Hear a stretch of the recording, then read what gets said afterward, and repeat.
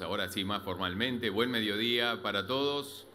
En nombre de la Asociación de Dirigentes de Marketing del Uruguay, le damos la más cálida bienvenida posible a este almuerzo de cierre del año 2021.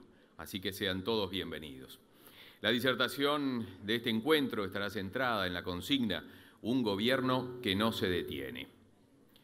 Queremos destacar especialmente la presencia de aquellas empresas que han reservado mesas para sus ejecutivos y clientes.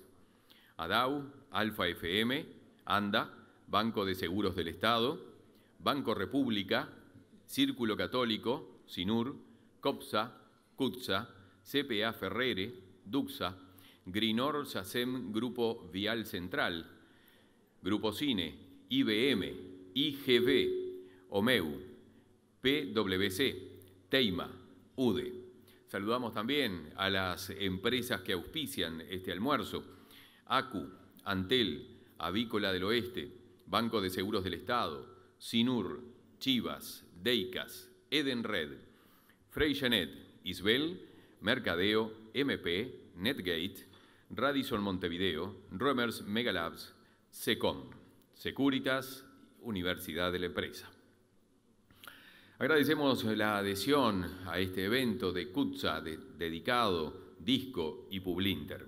A su vez también queremos recordar el apoyo de las siguientes empresas. Bayton, Betel Spa, Expand, Galante y Martins, Live Cinemas, Memory, Nativa, SEM, Sevilla Flores. Vamos a darle un minutito de distensión y de emoción también, eh, porque ahora vienen unos sorteos a todos aquellos que dejaron las eh, tarjetas al comienzo, a la entrada. Así que ustedes van a tener, por ejemplo, aquí acompañados, adelante, mientras que van firmando el libro de honor que recuerda la presencia de las autoridades y todos ustedes en este almuerzo. Valentina eh, Valeria me va a ayudar, va a ir sacando las eh, tarjetas ganadoras y aquí tenemos, por ejemplo, un día de eh, spa en Betel para dos personas, ganadores COPSA, un mes de tratamiento de rehabilitación capilar en TRC, Álvaro Padín, un obsequio del Museo Torres García, ADAU, un par de lentes Porsche de sol de Estela Jinchuk y aquí tenemos a eh, Locomotion. Y también un voucher de compra en New Balance, IBM. Después, allí en Secretaría pasan a retirarlos. Ese es el orden de los, de los premios y de los ganadores. Así que muchas gracias a todas las empresas que están colaborando también con estos sorteos y este almuerzo. Es un gran honor para la Asociación de Dirigentes de Marketing del Uruguay recibir en el día de hoy como oradora invitada a la señora vicepresidenta de nuestro país, escribana Beatriz Argimón, para quien pido un aplauso.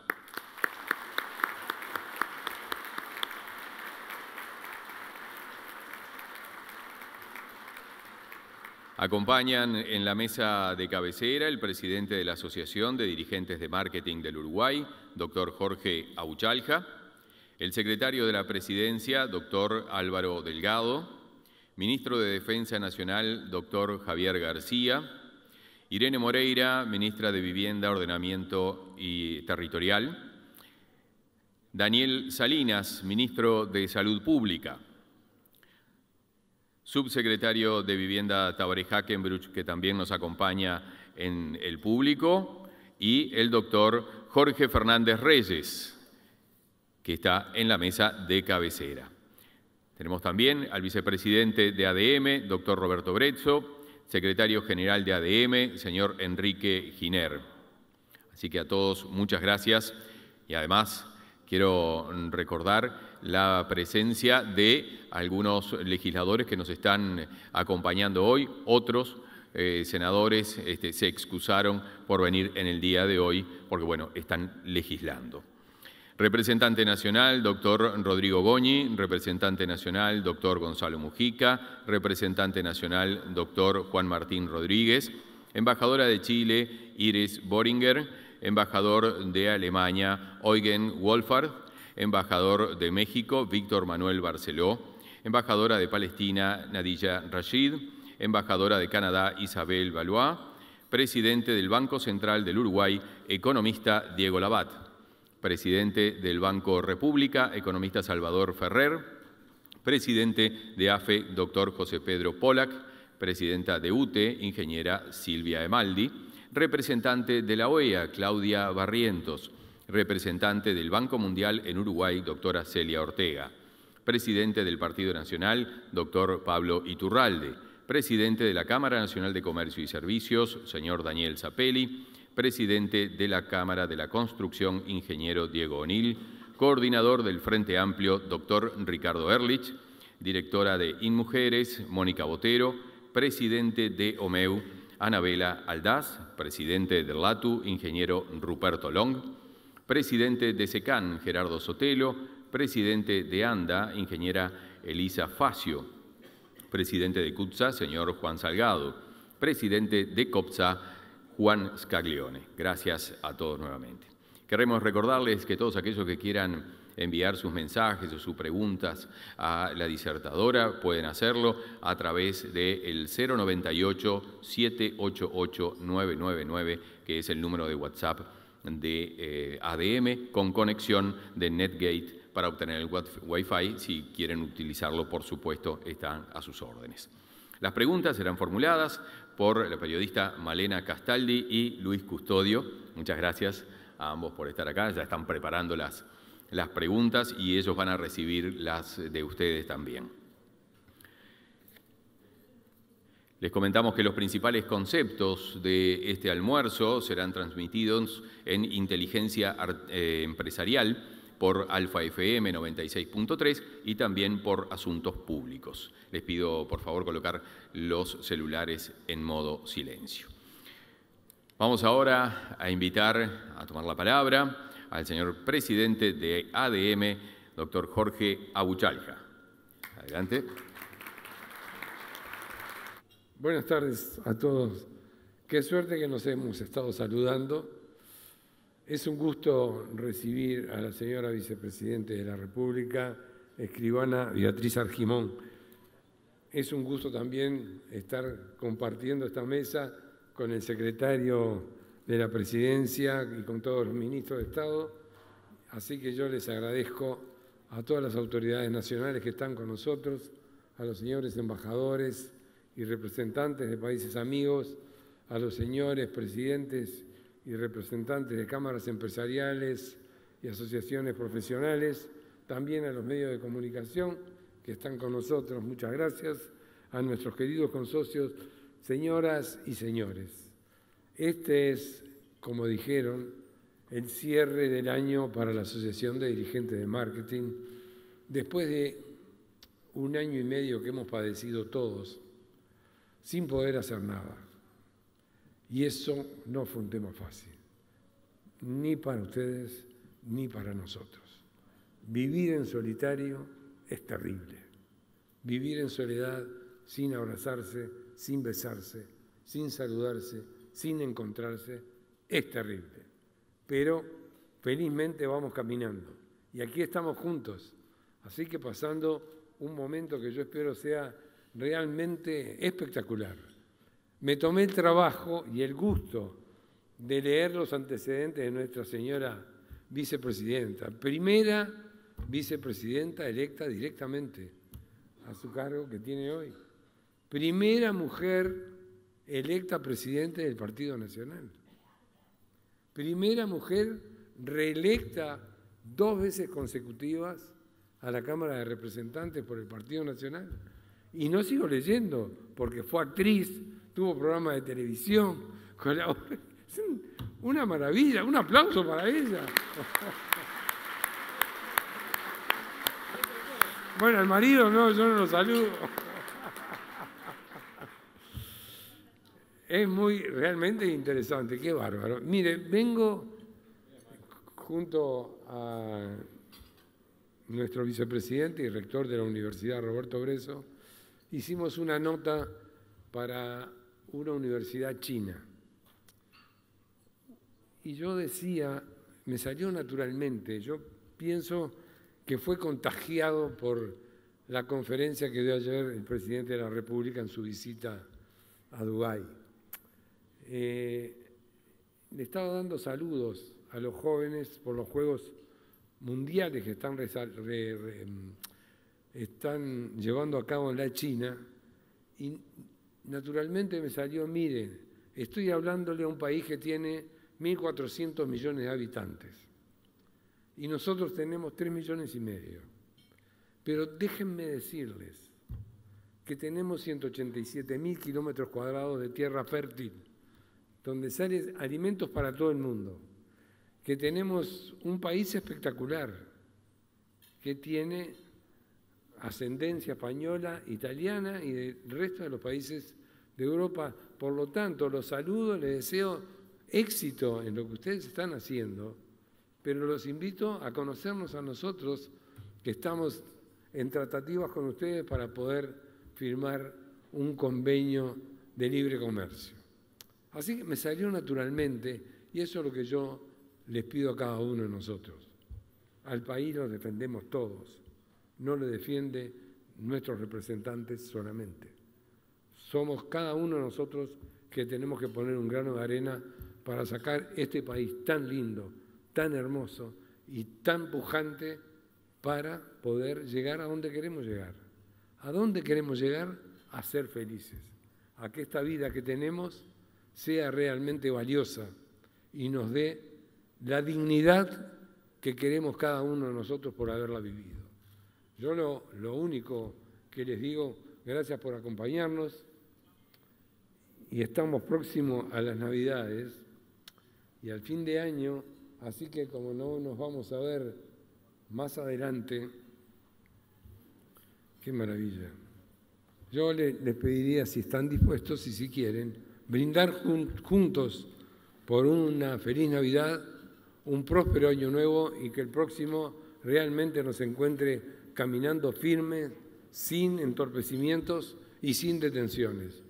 Siempre adelante haciendo que las cosas sucedan como decimos nosotros en ADM.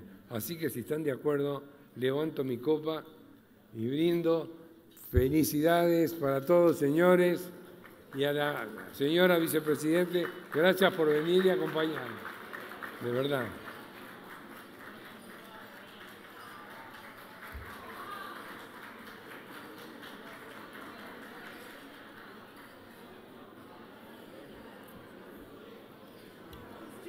Y si la señora quiere degustar primero el aperitivo o ya quiere hablar. Ya quiere hablar.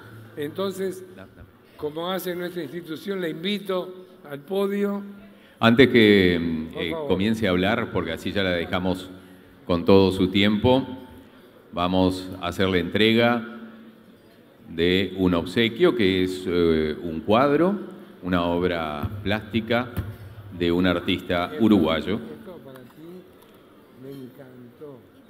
Allí el presidente de ADM y la vicepresidenta.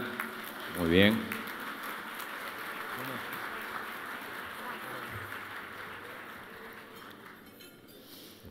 Bueno, muy buenos días. Antes que nada, quiero agradecer muy especialmente al señor presidente y demás miembros de ADM la posibilidad y el honor de poder estar cerrando este ciclo de almuerzos en años especiales, pero que igual se dieron la forma de poder seguir estando en este año como forma, como nos tienen acostumbrados, de estar informados, de tener elementos para la reflexión y fundamentalmente contribuir al país haciendo que las cosas pasen, como es su lema. Así que Agradecerles también a todos ustedes el estar hoy aquí en este cierre de actividades. El cierre del año siempre es bueno para tener un balance, tener balance personal, pero también colectivo, y a eso nos está invitando hoy ADM. Lo que el mundo vivió en el 2019 fue, sin lugar a dudas, removedor y trastocó nuestras vidas, nuestras vidas familiares, la vida de las empresas, de los trabajadores, de las sociedades todas. Como ya sabemos, este flagelo llegó a Uruguay un 13 de marzo del 2020. Y en esto quiero detenerme porque de alguna manera quiero iniciar hablando desde dónde salimos a enfrentar los primeros meses de gobierno bien diferentes a lo que el presidente y su equipo habíamos esperado. Por eso, y aprovechando además que está el ministro Salinas, vamos a empezar por hablar de materia sanitaria. Quiero decirles además que ya que es un cierre del año y un balance, me pareció importante hablar de, buenas noticias, porque muchas veces, obviamente por, por múltiples aspectos, las noticias a fin de año un poco nos abruman y no, no se suele destacar o priorizar algunas buenas noticias al cierre del año. Y este es un balance que quiero compartir con ustedes. Y decía, quiero empezar con la materia sanitaria. ¿Qué hemos logrado como gobierno, pero también como sociedad?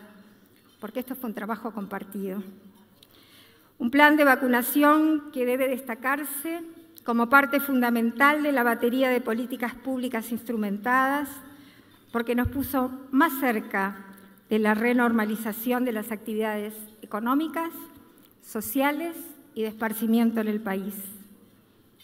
Por eso podemos decir con orgullo que Uruguay se encuentra a la vanguardia en el mundo con el 76 hasta ayer 76.2% de población vacunada con dos dosis de alguna de las vacunas empleadas.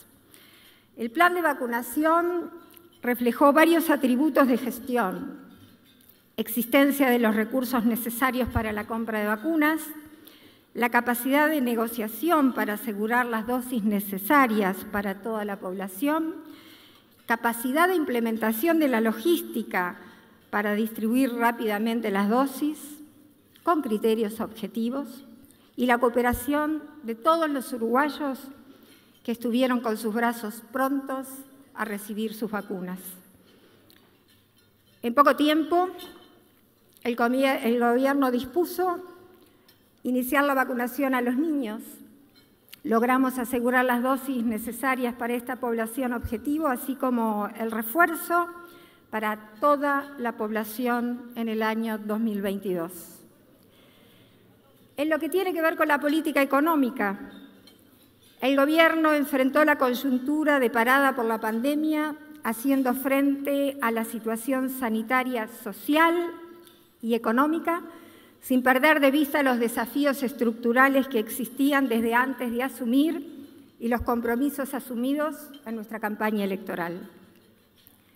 Por ello, la política de respuesta a la pandemia estuvo enfocada en atender las necesidades sanitarias a las personas más afectadas y a las empresas que sufrían las consecuencias derivadas de las limitaciones que impuso la coyuntura. Me gusta destacar el plan de atención a las MIPIMES. En particular, fue amplio y contundente incluyendo exoneraciones fiscales, créditos en condiciones muy convenientes, novedades en el seguro de desempleo tradicional, un nuevo seguro de paro parcial ampliamente utilizado, entre otras medidas. Y aquí otra nota de destaque. Un año atrás, el desempleo se ubicó en el 10.5% y hoy se ubica en un 8%. También es buena la noticia sobre la recuperación del empleo que se está produciendo en línea con las previsiones del equipo económico. Se recuperaron 38.000 empleos en el promedio de año a septiembre respecto a igual periodo del 2020, en línea con las proyecciones de crear 45.000 puestos de trabajo este año. También es una buena noticia el descenso del número de trabajadores en seguro de paro. En términos desestacionalizados, el tercer trimestre del 2021, la cantidad de ocupados alcanzaron niveles prepandemia, último trimestre del 2019. En octubre se registraron 51.379 trabajadores en seguro de desempleo, la cifra más baja desde que empezó la pandemia. El número de trabajadores en régimen tradicional de seguro de paro, 34.828, se encuentra 10.000 personas por debajo del promedio del 2019. Hace escasas semanas, el INE hizo trascender noticias por demás alentadoras. La pobreza descendió del 11.6% a 10.2%, 1.4 puntos porcentuales menos, lo que representa que unas 50.000 personas dejaron de ser pobres comparado obviamente con el primer semestre del 2021, con el promedio del 2020. Y esto a mí me interesa mucho destacarlo. La principal reducción se concretó en los menores de 6 años, de 21.3% a 16.1%, unos 13.000 niños, seguido por la franja etaria de 6 a 12 años. Paralelamente, el Gobierno fue sensible a la situación, incrementando las transferencias sociales en forma importante. Durante el año 2020, las transferencias sociales se incrementaron en el 56%, hablando en términos reales, y aumentaron en 40% la cantidad de personas beneficiarias, alcanzando a más de 840.000 de forma directa y más de un millón en forma indirecta. En la rendición de cuentas y hasta el fin del mandato, y me interesa por sobre todas las cosas destacarlo, se destinó que precisamente 50 millones de dólares por año se destinarán para los más vulnerables en el tramo de la primera infancia. Este es un plan inédito.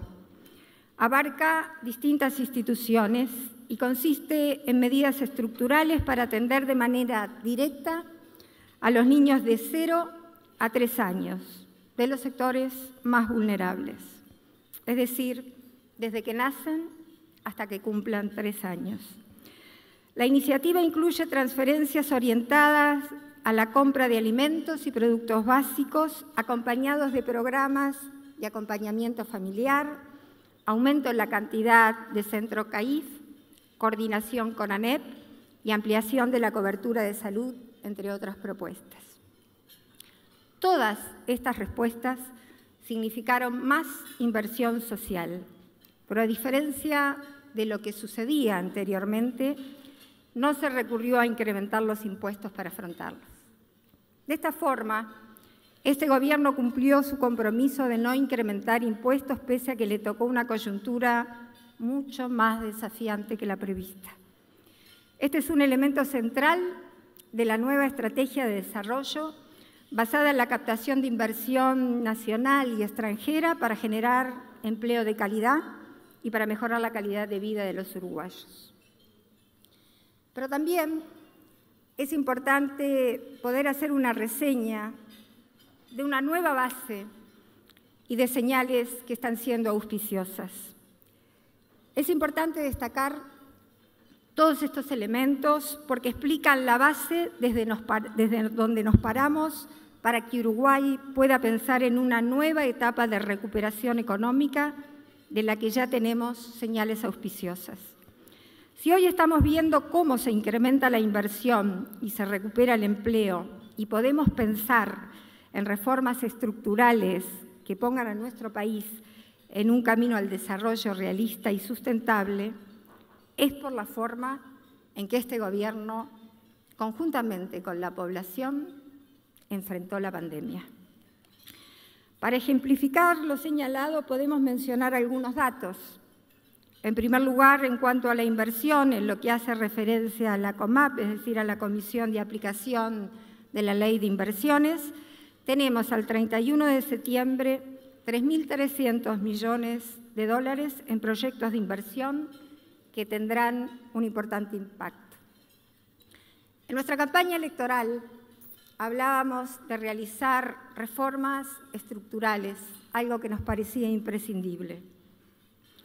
Debemos destacar entonces la agenda de reformas estructurales en las que estamos avanzando, que demuestra la visión de largo plazo que tenemos para el país y que su conjunto se puede resumir en una mejor institucionalidad económica, mayor competitividad y mejor calidad de vida para todos los uruguayos. Si uno mira el déficit del gobierno, se redujo en un 5.8 del PIB en el 2020 a 4.7% en los 12 meses cerrados a octubre del 2021, en todos los casos excluyendo el efecto de los denominados cincuentones. Si dejamos de lado el apoyo a través del fondo COVID, el 1.7 del producto nos muestra que el gobierno central tiene un déficit del 3% del producto. Es el resultado fiscal más bajo desde noviembre del año 2018. Una reforma muy importante es la nueva institucionalidad fiscal que incluye como uno de sus componentes centrales una regla fiscal, aunque no se limita solamente a ella. Esta nueva institucionalidad fiscal ha sido clave junto al cumplimiento por primera vez en mucho tiempo de todos los objetivos fiscales planteados en la ley del presupuesto para el mantenimiento del grado inversor de nuestro país. El avance en este aspecto es central para alcanzar la sostenibilidad fiscal de largo plazo, elemento clave para la previsibilidad y la estabilidad macroeconómica. En cuanto al mercado laboral, que obviamente es central en la vida de una sociedad, debemos destacar que el principal foco de la octava y novena ronda ha sido precisamente el empleo. En los consejos de salario, tanto los trabajadores, las empresas, como el propio Ministerio de Trabajo y Seguridad Social estuvieron de acuerdo en tener una octava ronda puente de un año en momentos de gran incertidumbre. La novena ronda tiene la novedad de diferenciar las empresas más afectadas de la pandemia del resto, las que están precisamente definidas por ley. En la pauta, a su vez, se propuso un tratamiento diferencial para las microempresas del resto. Esto es algo histórico, que considera las diferencias entre las microempresas y las demás existentes. Otro punto destacable es la ley de empleo, la nueva ley de empleo número 19.973, sancionada por el Parlamento, que hace hincapié en la promoción de oportunidades de empleo para personas jóvenes y mayores de 45 años que pertenezcan a los colectivos sociales más vulnerables.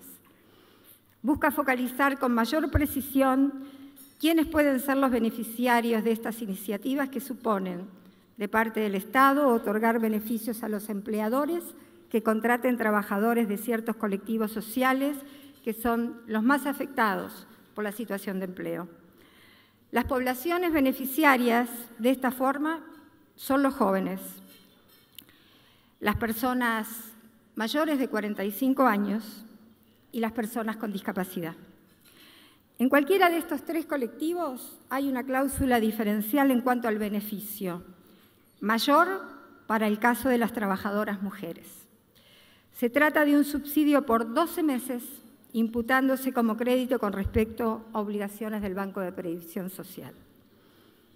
En lo que respecta a los jóvenes, la ley tiene dos modalidades. En la modalidad de primera experiencia laboral se otorgará un subsidio por cada joven que se contrate por un valor de 6 mil pesos mensuales para la empresa contratante. En el caso que sea una joven mujer, será de 7.500 pesos el monto. El cambio importante de los 12 meses que dura el subsidio se mantendrá una exoneración de aportes patronales por ese trabajador mientras se mantenga el empleo hasta que el joven cumpla 25 años.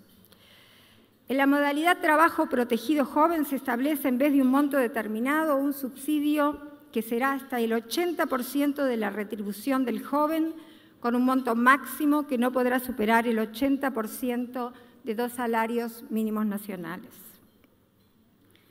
Y nos parece algo que es necesario destacar, porque estamos hablando de economía, pero también en el mundo la economía ha decidido incorporar los temas ambientales, precisamente en la política económica, y así lo ha anunciado nuestro país. Se ha establecido en la ley de presupuesto que los aspectos ambientales deben ser incorporados a la elaboración de la política económica y en particular de la política fiscal. En la rendición de cuentas del año 2020 aprobada por el Parlamento hay medidas concretas como la consideración para el IMES a los combustibles en vez de un precio fijo por litro enajenado, un nuevo cálculo en función de las emisiones de dióxido de carbono. El Ministerio de Economía y Finanzas, con apoyo técnico del BID y en conjunto con ministerios que abordan estas temáticas, están trabajando en el diseño de un bono soberano vinculado a indicadores ambientales sobre la base de compromisos de cambio climático que el país ha asumido internacionalmente. Otro capítulo que nos interesa reseñar brevemente es nuestra política de inserción internacional. Ha sido, de alguna manera, una política de inserción diferente. Uruguay viene promoviendo la modernización y flexibilización del Mercosur con el objetivo de lograr una mejor inserción internacional para nuestro país. Este es un aspecto clave para la mejora de la competitividad en particular para lograr el acceso a mercados en condiciones más favorables o al menos lograr las mismas condiciones con que ya cuentan algunos de nuestros competidores. Queremos seguir perteneciendo al Mercosur y generar mejores condiciones de competitividad para nuestros exportadores en otros mercados. Esta es la estrategia que estamos siguiendo y en la que estamos dando pasos concretos porque es fundamental generar más empleo para los uruguayos. El anuncio al comienzo del, comienzo del proceso para alcanzar un TLC con China ha sido una noticia relevante de este año. Estamos realizando conjuntamente el estudio de factibilidad que esperamos que pueda concluirse antes de fin de este año para dar paso a las negociaciones formales en sí mismas. Más de la mitad de los aranceles que pagan los exportadores uruguayos se pagan en China, lo que da dimensión de la relevancia de este posible acuerdo. Ustedes seguramente recordarán que la educación y sus reformas fue clave en nuestra campaña electoral. Es un aspecto clave para el desarrollo del país, sin lugar a dudas. En marzo del año 2021 se inició el año lectivo con presencialidad en los centros educativos, siendo uno de los pocos países de América Latina en donde esto ocurrió. Por primera vez se elaboró un plan de inicio de cursos, un documento realizado por los equipos técnicos para brindar insumos y guías de acción a los docentes y maestros. En el documento se establecen lineamientos pedagógicos para cada uno de los subsistemas de ANEP, delimitándose módulos de la bienvenida, priorizaciones curriculares con foco en los estudiantes con mayores vulnerabilidades. Se establecieron orientaciones generales sobre los aspectos socioemocionales, también específicos para cada subsistema educativo, con énfasis en la convivencia y la resolución de conflictos, y también se le dan estrategias a los docentes para afianzar la educación combinada. Se elaboró un plan de infraestructura para el año 2021 que permitió un inicio de cursos sin los eternos reclamos por la situación de los locales. Se realizaron a través de la Corporación Nacional para el Desarrollo intervenciones de menor porte, como el desmalezamiento, limpieza general de los centros en forma previa al inicio de cursos, así como la adquisición de al menos 100 aulas móviles y baños. A su vez, se decidió hacer un llamado solidario público para el préstamo de locales para ser utilizados como espacio educativos y de esa forma lograr una mayor presencialidad, lo que generó una respuesta realmente muy favorable de la sociedad, logrando la colaboración de las intendencias, organizaciones sociales y diversos organismos del Estado.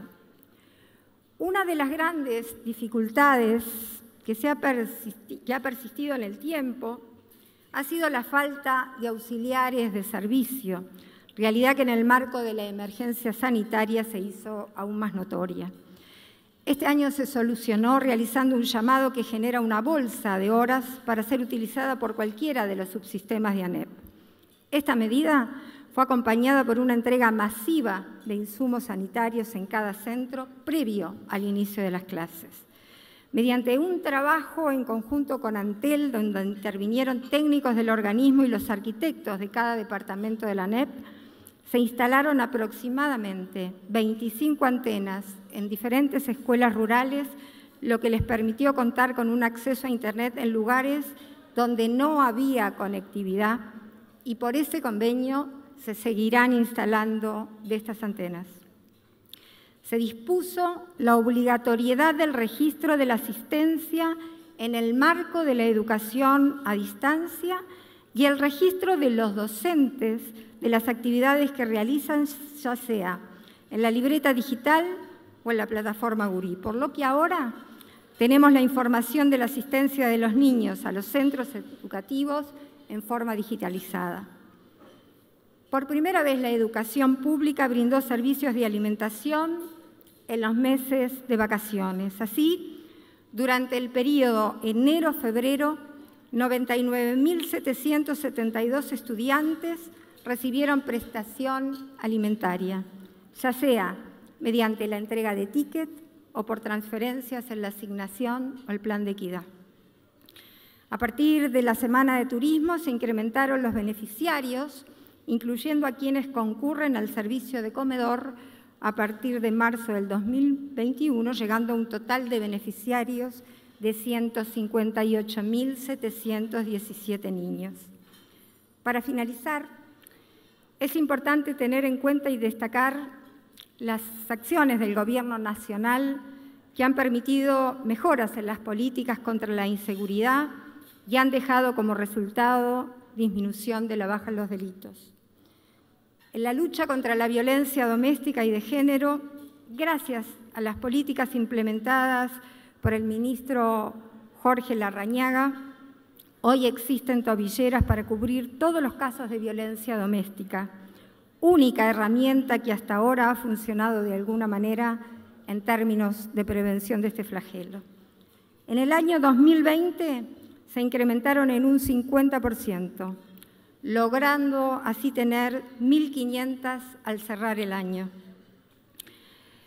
Esto implicó una ampliación del presupuesto en esta materia de 4 millones de dólares que fue destinada por el Ministerio de Economía y Finanzas.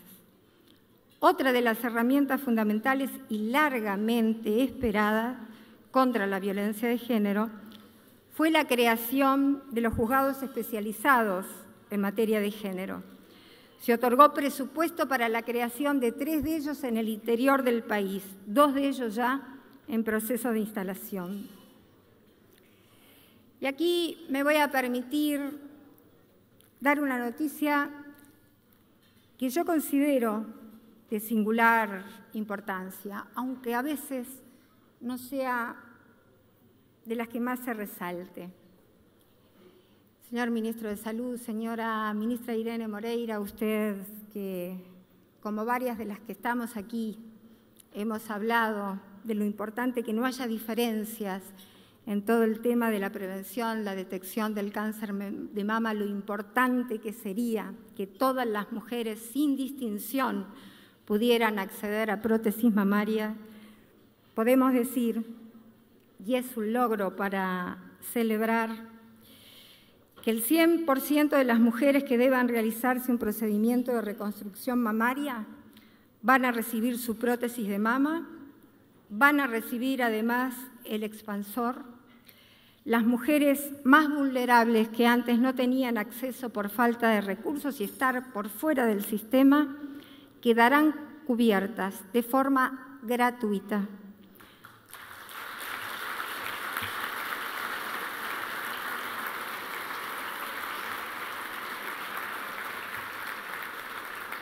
Se incorporó también la radiación por radioisótopos para el estudio del ganglio centinela para el 100% de las mujeres que tengan que realizarse una mastectomía. Los estudios de mamografía, que hasta el momento son opcionales para las instituciones de salud, pasarán a ser obligatorios desde el año 2022 hasta el 2024. Ha quedado demostrado que los derechos y la real accesibilidad no solo nos preocupan, sino que nos ocupan.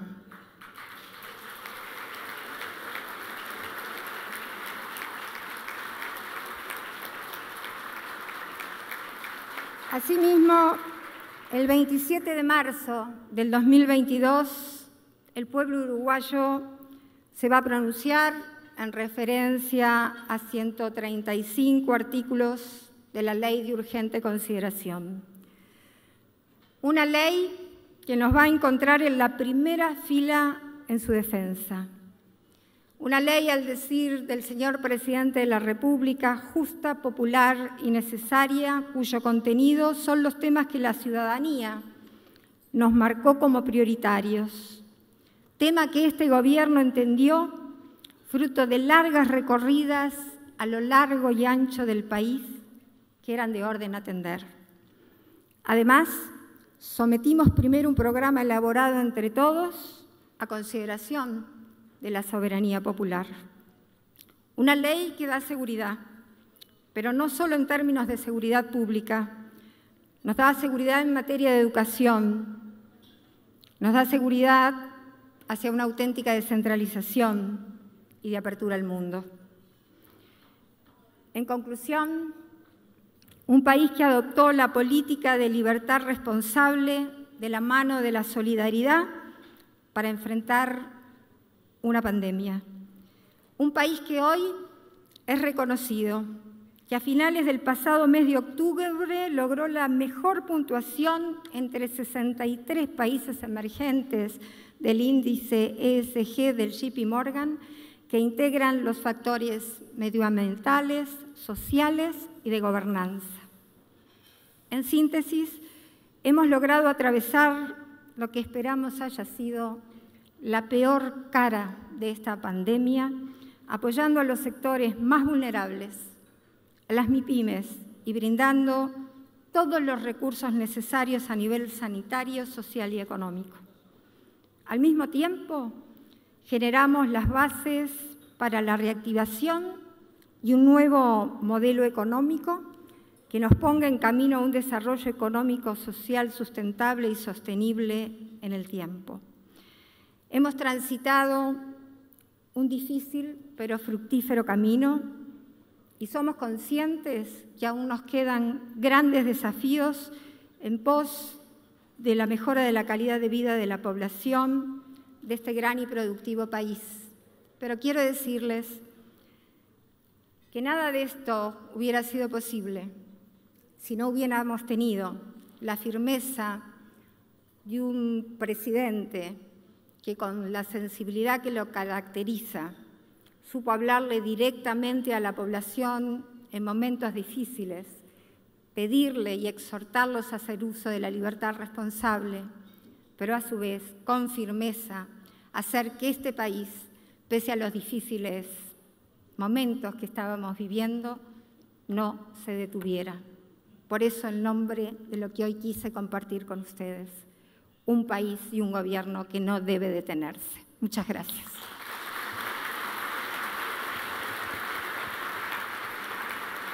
Agradecemos las palabras de la señora vicepresidenta de la República. Le vamos a dar ahora la oportunidad a los periodistas que nos acompañan, Malena Castaldi Luis Custodio, de formular sus propias preguntas, obviamente, y las del público. Adelante ustedes. Muchas gracias a todos. Saludo para la señora vicepresidenta. La voy, a, la voy a llevar unos minutitos al otro recinto, el parlamentario, de donde tuvo que salir de apuro para aquí, seguramente los que están presentes, muchos lo sepan, la esperan. Porque, y estoy seguro que en su celular debe haber muchos mensajes a propósito de esto, eh, dejó eh, en manos de sus compañeros de bancada y al resto de los legisladores un tema que, que ha preocupado mucho en estos días, que se instaló fuerte, que tiene que ver con las modificaciones a la regulación de, de suelos de calidad forestal.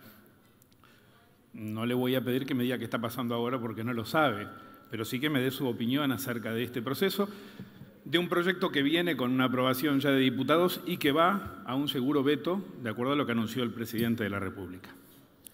Sí, efectivamente. Eh, en realidad, eh, esa deliberación, que en principio se iba a hacer en el día de ayer, por solicitud de bancadas diferentes se está llevando adelante en este momento y tiene que ver con un, con un tema que entendemos cada tanto, además aparece en la agenda parlamentaria, fruto precisamente de que hace mucho tiempo contamos con una ley que tiene que ver precisamente con la utilización de nuestros suelos para la forestación, pero que en principio eh, desde la coalición de gobierno tenemos miradas diferentes.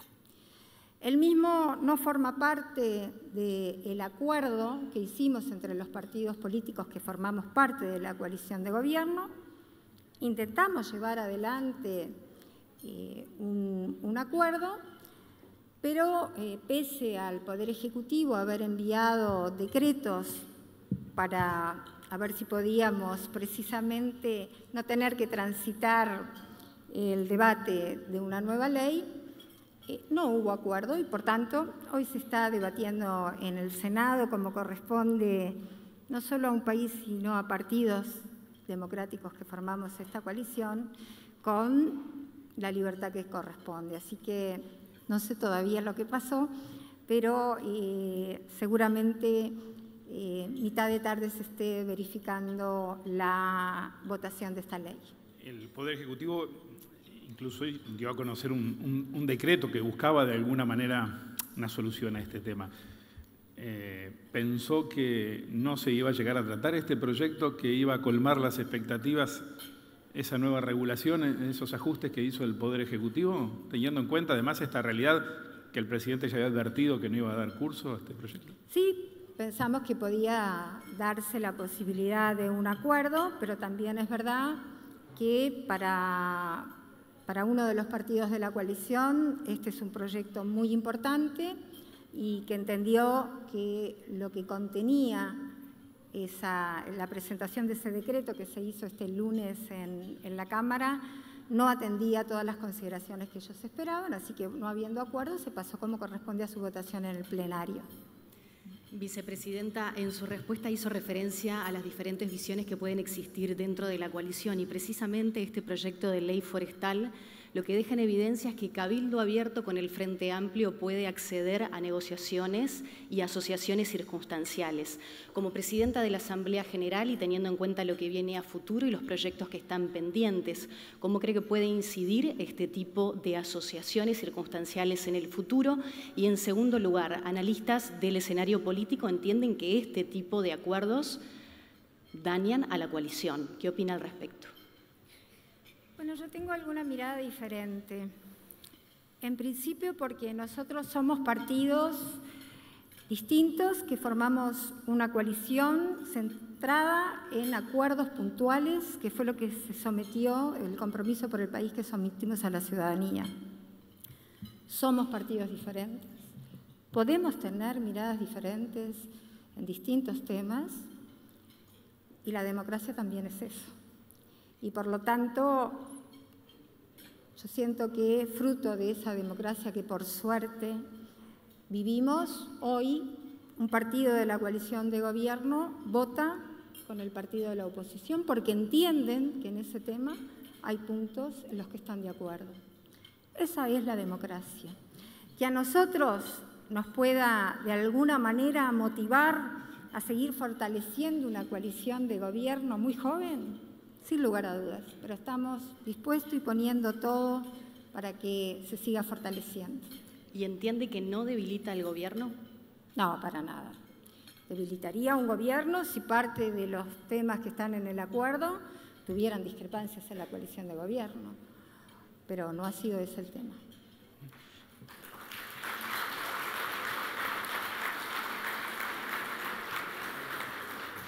Recuerden que ustedes también pueden participar, hay un, número celular que si no, me, si no me equivoco, 098-788-999, ¿está bien? Pueden participar, enviarnos las preguntas también. Eh, em, señora vicepresidenta, este, esta presentación de este proyecto hoy, de otros que estos días han, han ocupado mucho lugar en, en el trabajo legislativo, y que han quedado buena parte de ellos para el periodo próximo, porque en definitiva estamos cerrando el periodo hoy. Eh, de alguna manera son el saldo de un año donde en términos relativos no podemos hablar de una gran producción legislativa. Eh, muchos de los temas más importantes que surgieron provinieron del Poder Ejecutivo. ¿Qué balance hace de la producción legislativa este año? Y al mismo tiempo, ¿cuáles son, en calidad de presidenta del Senado y de la Asamblea General, sus prioridades legislativas para el año próximo? Bueno, yo les voy a les voy a contar algo que para mí es muy importante. La democracia es un activo que tenemos como país. El año pasado fue un año muy difícil y a diferencia de lo que suele pasar los primeros años de un legislativo, donde el centro está dado en el debate de una ley de presupuesto, fue un año de producción legislativa atípica, donde todos los partidos políticos hicieron posible que el Parlamento Nacional no parara de funcionar en ningún momento, pese a protocolos muy estrictos, a que además teníamos problemas de funcionamiento porque obviamente el reglamento no podía prever que algún día íbamos a tener que funcionar en forma híbrida y ver las votaciones, cómo se verificaban. Bueno, allí todos los partidos políticos nos pusimos de acuerdo y nos dimos la forma de poder trabajar y no y no dejar para nada frenada ninguna actividad parlamentaria. Y en ese sentido fue un año atípico de producción legislativa. Fue el año de más producción legislativa de los primeros años de legislativos. ¿Por qué?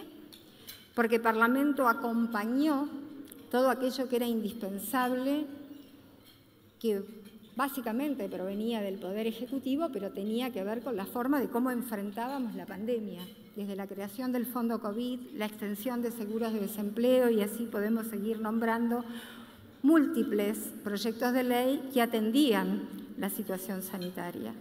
Por eso fue un año diferente. Este año empezó a parecerse un poco más a los años normales, pese a que todavía seguimos transitando la pandemia. ¿Por qué? porque empezaron los legisladores a producir proyectos, ya sea a título personal o de bancadas parlamentarias. Y en realidad fue un año que tuvo que componer lo que se enviaba del Poder Ejecutivo como prioritario por los tiempos que vivimos, pero empiezan a debatirse distintos temas que ya tienen que ver con el debate de esta nueva legislatura. Y fue por eso un año diferente también, porque tuvo que de alguna manera ir acompasándose la situación con los aportes de los legisladores. Igualmente, aprovecho este escenario para contar dos temas que me parecen importantes. Instalamos la Comisión del Futuro. Es una comisión muy atípica. Es una comisión que funciona en algunos países del mundo. La primera fue en Finlandia, que, en realidad tiene un acompañamiento de UNESCO y que tiene una forma de trabajar diferente. Primero es una, una comisión de la Asamblea General, por tanto está constituida por diputados y senadores. Creo que Malena sigue esta comisión. Y está constituida además en forma permanente de intercambio con las distintas agencias y las universidades.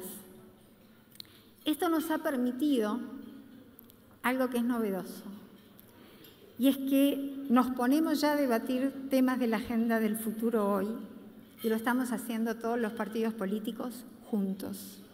Entonces es el proceso inverso a que los partidos lo debaten y luego sus legisladores después de la campaña electoral lo vuelcan al Parlamento. Aquí temas tales como el cambio climático, los sistemas alimentarios, el rewilding, todos esos temas que en el mundo hoy se están debatiendo, lo estamos debatiendo en el Parlamento todos los partidos políticos. Estamos realmente con muchísimas expectativas de esta comisión que nos saca de lo que es un estilo tradicional de trabajo para adelantarnos a los temas de una agenda de futuro que nos permitan para una próxima campaña electoral ya tener debatidos entre todos los partidos muchos de esos eh, ejes temáticos que son de una agenda de hoy ya más que de mañana. Comparta con ustedes cuáles pueden ser los proyectos que a su juicio van a ser prioritarios al inicio del próximo periodo, por favor? Bueno, yo creo que eh, hay algunos proyectos, últimamente se está haciendo mm, fuerte temas que tienen que ver con la bioética, temas que tienen que ver con todos los aspectos de un mundo que avanza hacia lo digital, las criptomonedas, todos esos temas están acaparando la atención de muchos legisladores y me parece que va a haber un vuelco en este periodo parlamentario donde va a haber temas que nos van a invitar precisamente a debatir temas que hasta ahora no habíamos debatido.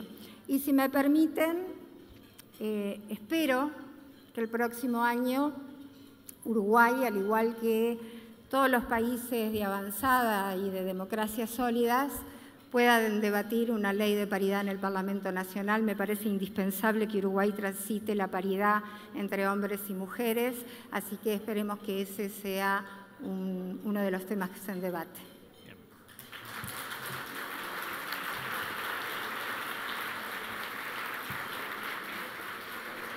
Vicepresidenta, desde una perspectiva de autoevaluación, ¿con qué satisfacción principal se queda de este periodo legislativo y qué cosas le quedan en el debe?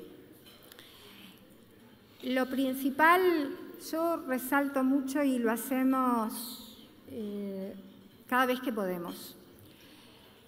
Y hablando del activo de nuestra democracia.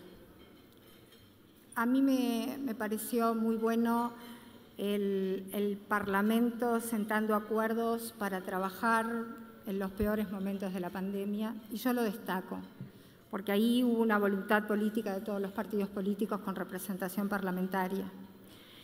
Después, el seguir trabajando en algo que para este gobierno es muy importante por los tiempos y por, por lo que implican los desafíos en el siglo XXI, y es el mostrar el país en el mundo, y nuestro Parlamento es un activo muy importante. Muchas veces no se sabe, pero cuando los legisladores salimos del país en delegación, Uruguay, a diferencia de otros parlamentos, llevan posiciones país. Y eso nos ha destacado a tal punto que, bueno, quien habla tiene el orgullo de pertenecer al Ejecutivo de la Unión Interparlamentaria, donde más de 170 parlamentos formamos parte de la misma, pero además por primera vez en la historia, en el mes de junio del año próximo, el Ejecutivo de la Unión Interparlamentaria va a sesionar en Uruguay porque entiende que sería muy bueno que una pata de la Unión Interparlamentaria para América Latina y el Caribe estuviera en Uruguay, por lo que significa la solidez democrática en nuestro país.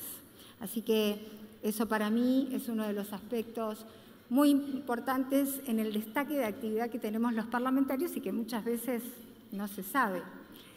En el DEBE, bueno, este año hemos podido llevar adelante esa apertura del Parlamento que queremos seguir llevando adelante a la sociedad.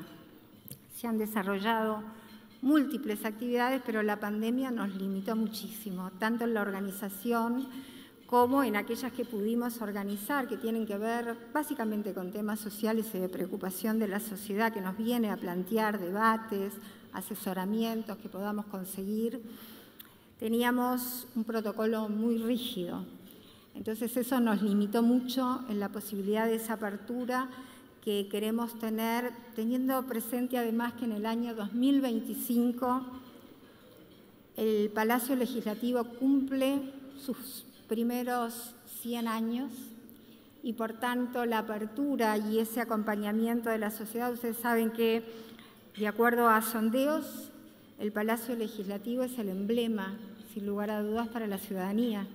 Entonces queremos seguir avanzando en una ampliación de lugares de encuentro y en eso estamos trabajando fuertemente todos los partidos políticos. Esperemos el año que viene algo que también para mí es muy importante. Ustedes saben que es habitual que las escuelas nos visiten.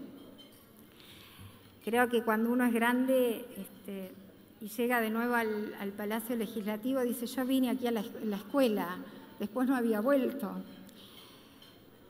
Pero nos parece por la importancia de lo que significa desde el punto de vista cívico que es hora de que los liciales vengan al Parlamento Nacional. Así que esa es otra de las propuestas que no pudimos llevar adelante este año, que provino de los propios funcionarios del protocolo del Palacio Legislativo y es una promesa, así que el año que viene ojalá podamos hacerlo.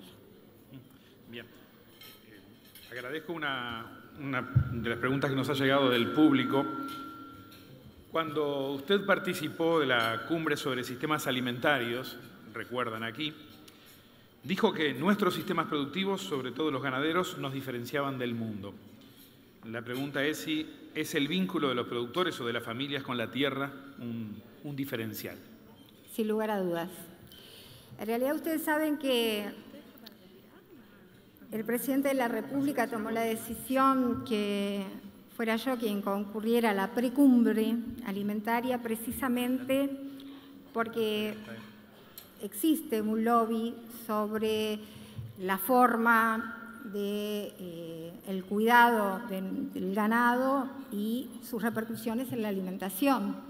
Y por lo tanto, de pronto se pone en una bolsa sistemas de, de cómo se cría el ganado en distintos países, con el nuestro, que es basado obviamente en lo natural, un país que tiene matriz agrícola ganadera y que por lo tanto eh, ha cuidado siempre la forma desde el punto de vista de esa protección ganadera.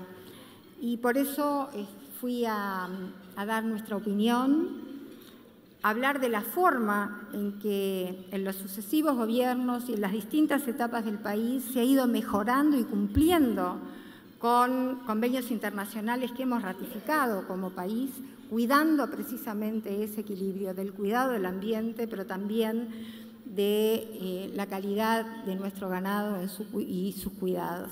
Así que dio resultado esa precumbre porque nuestra postura fue acompañada por países de América Latina, lo que nos permite, y esto la verdad pasó eh, hace dos días, que FAO haya venido a manifestarnos su voluntad de profundizar todo lo que tiene que ver con los derechos alimentarios desde Uruguay, en virtud de la postura que tenemos como país y porque además creo que hablando de futuro y hablando de lo que significan los sistemas alimentarios en el mundo, Uruguay tiene mucho para aportar desde aquí y no solo en calidad, sino en volumen. En su presentación hizo un raconto de cuáles han sido las medidas y los resultados que obtuvo el gobierno con las decisiones que ha tomado principalmente en pandemia. El próximo 27 de marzo habrá un referéndum por la derogación de 135 artículos de la LUC. ¿Cuánto condiciona al gobierno que efectivamente esos 135 artículos sean derogados? Bueno, eh, vieron que está todo el debate de si es realmente un plebiscito al gobierno, sino a mí no me, no me gusta desnaturalizar las herramientas que constitucionalmente la ciudadanía tiene. Ustedes saben que, y lo decía, eh, yo tengo un compromiso con la ley de urgente consideración especial porque primero hice campaña con el presidente como fórmula del Partido Nacional, luego hicimos campaña por la coalición de gobierno y todos los ejes temáticos que la ley de urgente consideración tienen y muchos más el presidente decía todos estos puntos, que además vienen de haber recorrido el país a lo largo y ancho de todo el territorio, de alguna manera nos lo marcó la gente. Por lo tanto, eh, es un proyecto de ley muy importante para el gobierno. Vuelvo a decir, tenía muchísimos más artículos. En el debate parlamentario quedaron menos y eh, en realidad la oposición votó, por ejemplo, el 52% del texto, tal cual salió la ley, fue votada por la unanimidad de los partidos.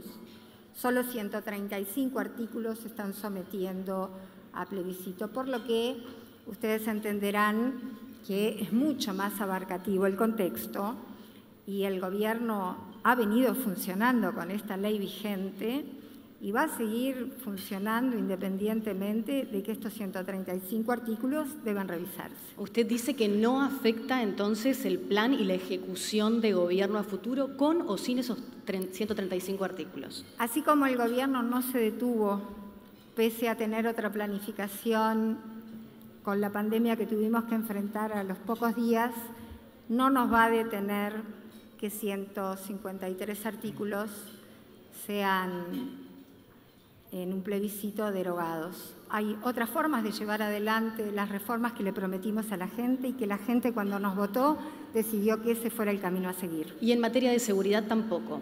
No, tampoco.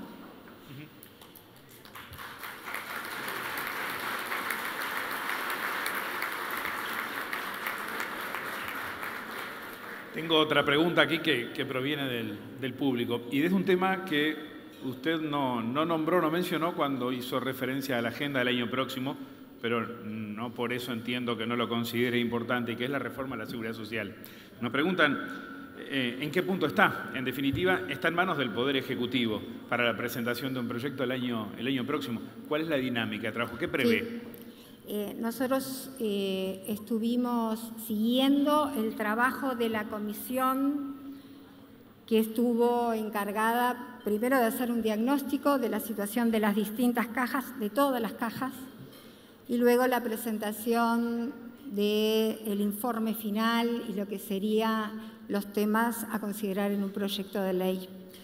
En ese sentido, eh, nos hicimos del informe, que es muy completo, el señor presidente de la República también, y tengo entendido que a partir de marzo se estará evaluando la posibilidad de enviar un proyecto de ley para llevar adelante una reforma que todos los partidos en campaña electoral sostenemos que es indispensable, pero que a veces ha habido problemas en su concreción. ¿Será uno de los proyectos que se presente sí o sí al inicio del periodo? ¿Usted habla de primeros días de marzo? ¿Sí? Yo siento que en marzo va, va, la evaluación de lo entregado al Poder Ejecutivo y es el Poder Ejecutivo quien determinará si envía o no el proyecto de ley, pero creo que, eh, sin lugar a dudas, eh, frente a lo que fue un trabajo muy exhaustivo, ha quedado claro lo necesario de modificar el régimen previsional.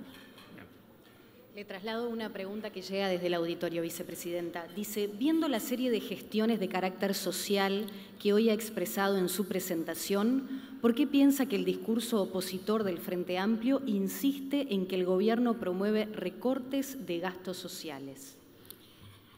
Bueno, a, ver, eh, uno no puede llevarse por relatos que se construyen desde la oposición o desde parte de la oposición. Por eso hemos decidido, y yo resalto lo de hablarle directamente a la ciudadanía,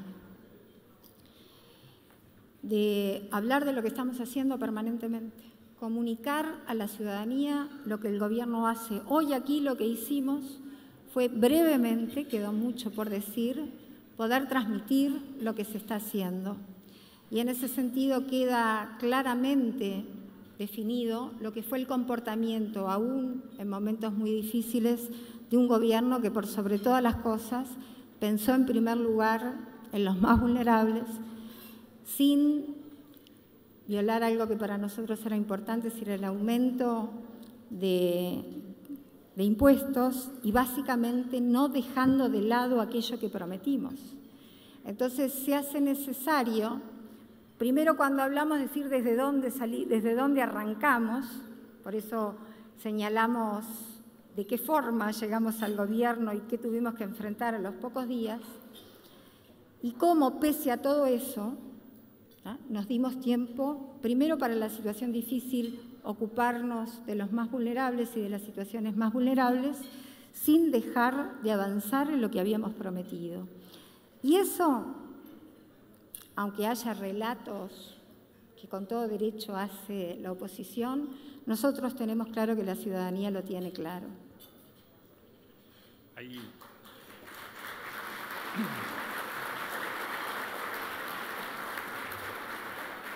Hay más preguntas de los participantes, se comenzaron a, comenzaron a animarse ahora.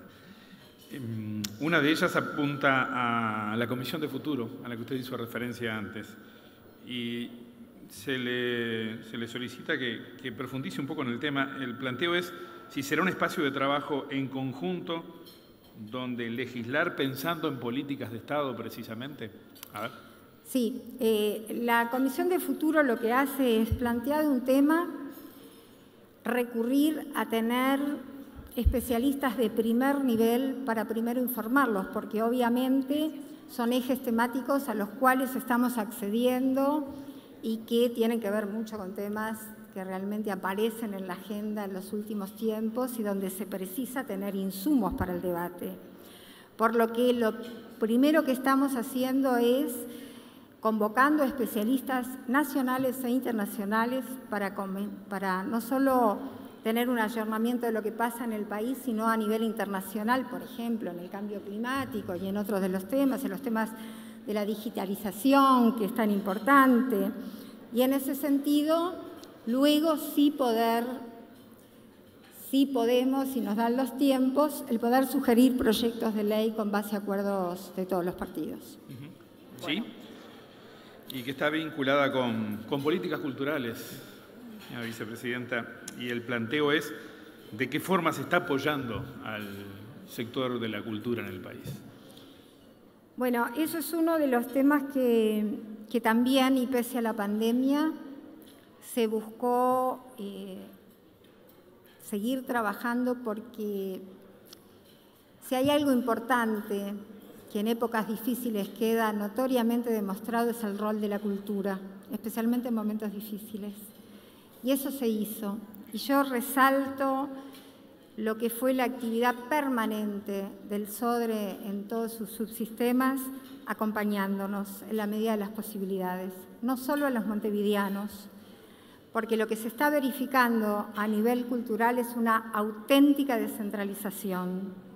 Sabemos que queda mucho por trabajar, pero sentimos que hay un camino en políticas culturales mucho más integrado que en otros tiempos, donde Montevideo y el interior ya no tienen los límites, sino que precisamente se trabaja mirando a un país, respetando también aquellos momentos culturales que cada departamento se da de acuerdo a su identidad, pero hay una política nacional mucho más integrada.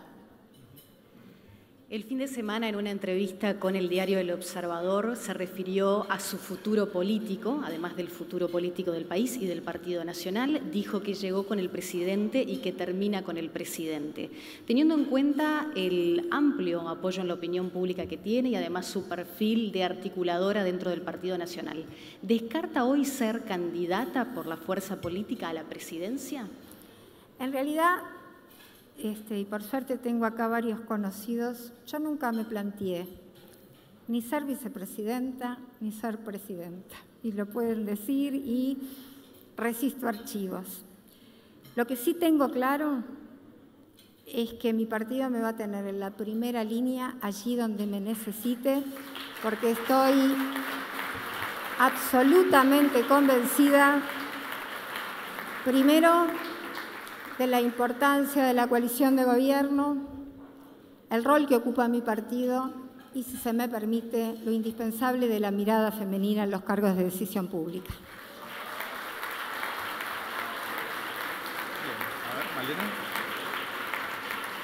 Para reafirmar entonces, si el Partido Nacional se lo solicita o si el propio presidente se lo solicita, ¿usted accedería a ser candidata? Formo parte de un equipo y lo que el presidente determine y el equipo determine va a ser.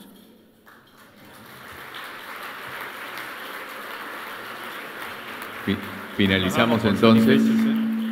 Gracias. Muchísimas gracias. Si puedo, aprovecho ya que es el último almuerzo, desearle lo mejor a la directiva de ADM y a todos ustedes. Tenemos el más lindo de los países.